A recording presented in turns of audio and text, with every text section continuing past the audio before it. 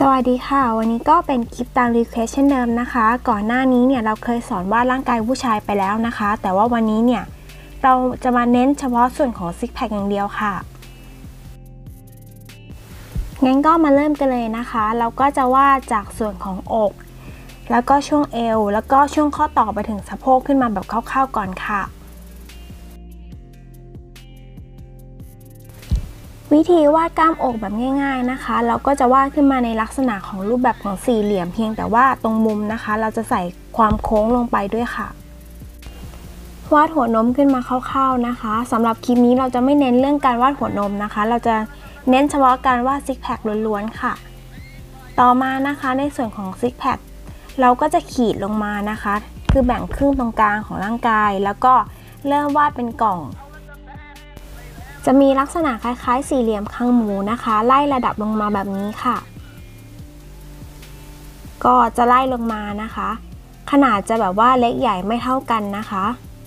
แล้วก็ช่วงของ ซิกแพคข้อสุดท้ายนะคะ ตรงกลางเนี่ยก็จะมีรูสะดือค่ะ ค่ะเท่านี้นะคะก็จะได้ซิกแพคแบบที่ง่าย ๆแล้วนะคะ ต่อมานะคะเราก็จะมาสอนการลงสีในส่วนของซิกแพคเพิ่มเติมค่ะอย่างแรกนะคะก็ให้เริ่มจากการเลือกสีเนื้อที่เป็นสีพื้นนะคะ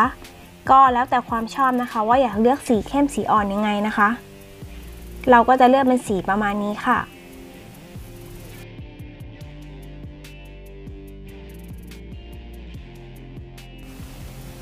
ปาดสีพื้นลงไปให้ทั่ว ๆ บริเวณค่ะ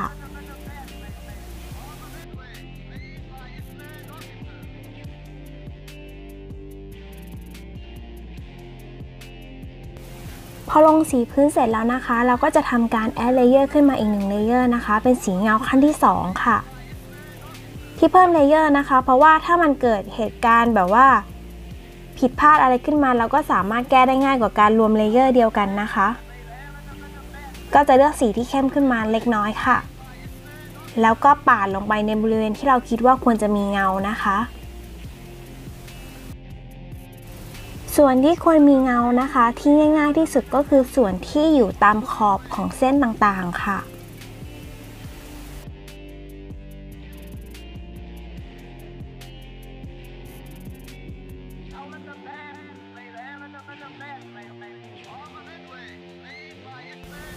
พอปาดเงาขั้นแรกได้นะคะ ตามความชอบแล้วเนี่ยเราก็จะมาใช้เครื่องมือนิ้วถูนะคะ ในการเบอร์เงารอบแรกเนี่ยให้มันดูสมูทมากขึ้นค่ะ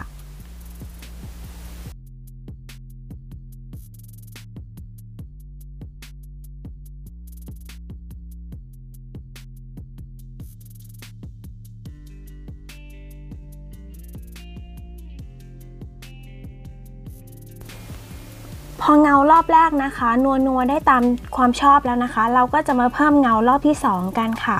โดยเงารอบนี้นะคะ ก็จะเข้มขึ้นกว่ารอบแรกนะคะ เราก็จะสร้าง layer ขึ้นมาอีกหนึ่ง layer ค่ะ แล้วก็เลือกสีที่เข้มขึ้นกว่าเงารอบแรกค่ะ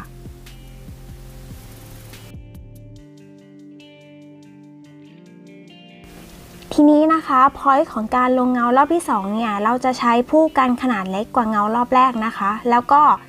จะระบายบางส่วนนะคะ จะไม่ได้ระบายเป็นวงกว้างเหมือนกับเงารอบที่แล้วนะคะ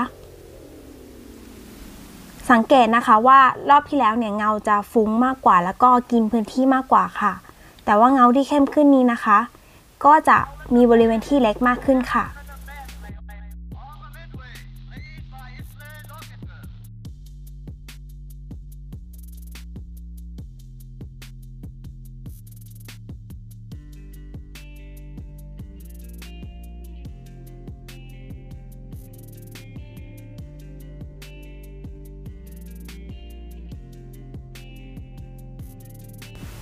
จากนั้นนะคะพอเราลงเงาคร่าวๆเสร็จแล้วเราก็จะใช้เครื่องมือนิ้วถูในการเบอร์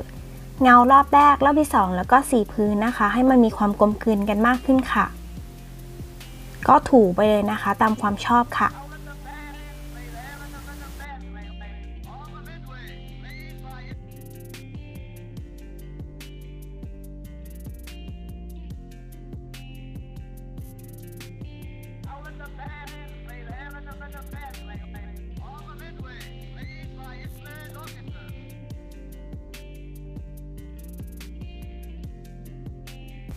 เทคนิคเพิ่มเติมอีกเล็กๆน้อยๆนะคะ ในส่วนที่เราลงเงาทั้งหมดเนี่ยเราอาจจะลากแค่ในส่วนของด้านในนะคะ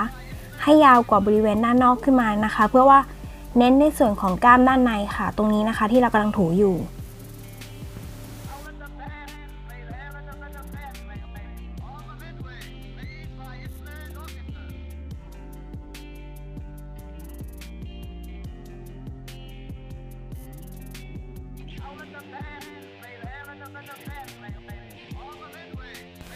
พอได้ประมาณนี้แล้วนะคะ บางคนอาจจะรู้สึกว่ามันยังดูแข็งๆไปนะไอ้เส้นสีดำที่อยู่ตรงกลางนะคะ ที่เราวาดไว้เนี่ยเราก็จะทำการเปลี่ยนสีเส้นนะคะ ให้มันมีความกลมกลืนกันมากขึ้นค่ะ ก็จะ add layer นะคะ เราจะใช้วิธีการ duplicate ขึ้นมา1 layer ให้ดูถึงความแตกต่างกันค่ะ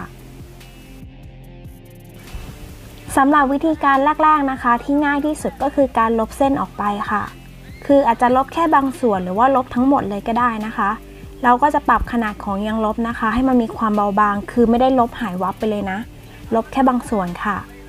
สังเกตนะคะว่ามันก็จะดูซอฟขึ้นแล้วก็กลมกลืนมากขึ้นค่ะ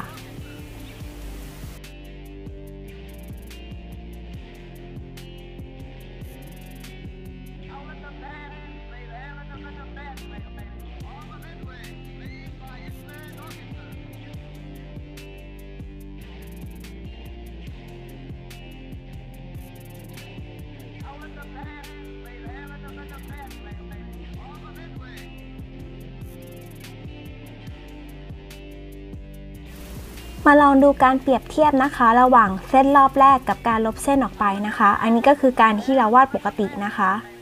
แบบนี้ ก็เส้นก็จะคมชัดเข้มนะคะ อันนี้คือการลบเส้นออกไปในบางส่วนค่ะ ก็จะมีความกลมกลืนมากขึ้นนะคะ ในการเพิ่มเงาแต่ละขั้นตอนนะคะ ก็จะช่วยทำให้กล้ามของเราเนี่ยมันดูมีมิติมากขึ้นค่ะ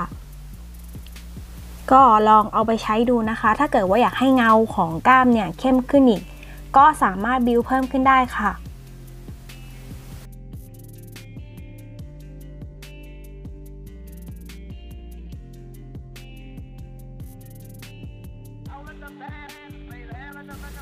ต่อมานะคะ อันนี้จะเสริมให้นะคะ ถ้ารู้สึกว่าเส้นมันยังแข็งเกินไปนะคะ ไม่นัวอีกก็ใช้วิธี เอาเครื่องมือมือถูนะคะ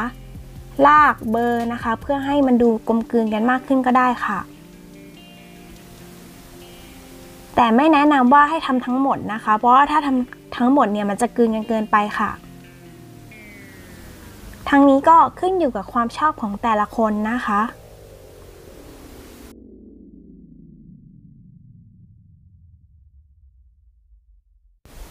ตะกี้นี้นะคะเราพูดถึงเรื่องของการเปลี่ยนสีเส้นไปนะคะ ซึ่งเรายังไม่ได้สอนนะคะ เราก็จะมาสอนตอนนี้เลยค่ะ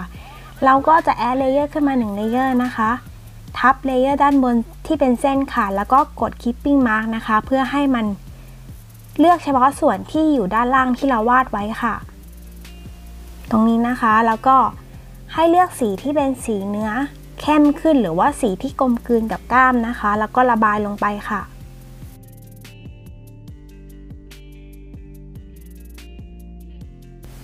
สังเกตนะคะว่าสีของเส้นเนี่ยก็จะดู smooth แล้วก็ดูกลมกลืนมากขึ้นกว่าเดิมค่ะ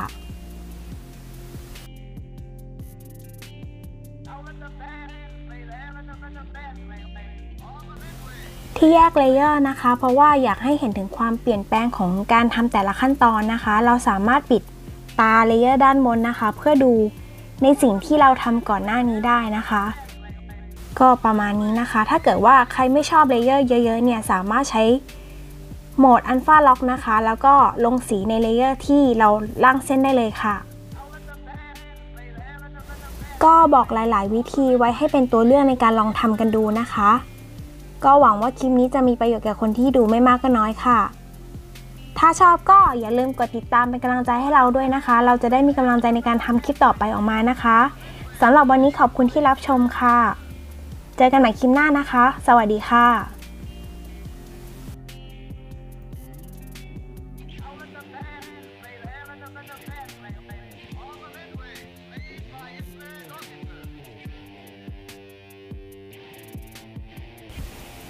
จบแล้วนะจ๊ะ วันนี้มาเร็วเค็มเร็วไปเร็วหรือเปล่า